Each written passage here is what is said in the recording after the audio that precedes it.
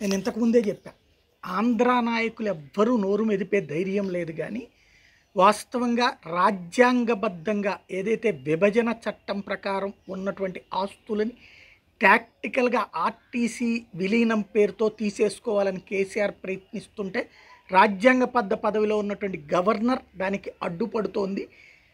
ఎందుకు అంటే రేపు పొద్దున తను జవాబుదారీ అవుతుంది కాబట్టి అన్నటువంటి.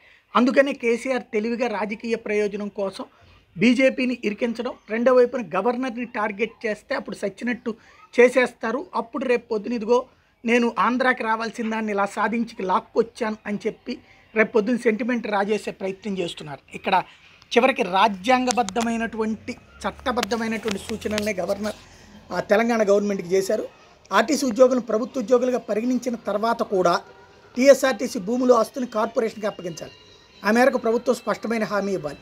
ఏపీ పునర్వ్యవస్థీకరణ చట్ట ప్రకారం ఆస్తులను విభజించి తెలంగాణ ఆంధ్రప్రదేశ్ మధ్య ప్రక్రియను పూర్తి చేయాలి. గతంలోని ఏపీఎస్ఆర్టీసీ నుంచి బకాయిలను క్లియర్ చేసే బాధ్యతను గుర్తు చేసేందుకే ఈ సిఫార్సు. ఒకసారి ప్రభుత్వ ఉద్యోగులుగా పరిగణించిన తర్వాత ఆర్టీసీ ఉద్యోగుల వేతనాలు జీతం బదిలీలు పదోన్నతులు పదవి విరమణ పింఛన్లు pay scale PF gratuity service నియమాలు నిబంధనలను అనుసరించి ఇతర రాష్ట్ర ప్రభుత్వ ఉద్యోగుల మాదిరిగానే అదే స్థాయిలో ఉండాలి. ఆర్టీసీలో తీవ్రమైన ఒత్తిడి శారీరక శ్రమ కారణంగా ఉద్యోగి సేవకు అనర్హులైతే కుటుంబ పరిస్థితులు దృష్టిలో ఉంచుకుని కారు నియామకం కోసం అభ్యర్థించడానికి టీఎస్ఆర్టీసీ ఉద్యోగులకు వెసులుబాటు కల్పించాలి. ఆర్టీసీలో క్రమశిక్షణ చర్యలు చాలా కఠినంగా ఉంటాయి. అందువల్ల క్రమశిక్షణ చర్యలు మానవీయంగా ఉండాలి. మిగిలిన ప్రభుత్వ ఉద్యోగుల మాదిరిగానే వీళ్ళకు కూడా సర్వీస్ నియమాలు నిబంధనలో సమానత్వం ఉండాలి. ఆర్టీసీ శ్రామిక ఉద్యోగులు ఇతర శాఖలకు డిప్యుటేషన్పై పంపినట్లయితే గ్రేడ్ జీతం ప్రమోషన్లు తదితర విషయాలు వారి ప్రయోజనాలు దృష్టిలో ఉంచుకోవాలి. తద్వారా వారి ఎలివేషన్లకు ఎలాంటి భంగం వాటిల్లకూడదు.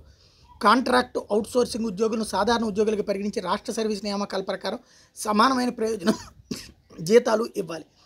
ప్రావిడెంట్ ఫండ్తో సహా ఇతర ప్రయోజనాల విషయంలో వారి సేవలను గుర్తించి రక్షించాలి.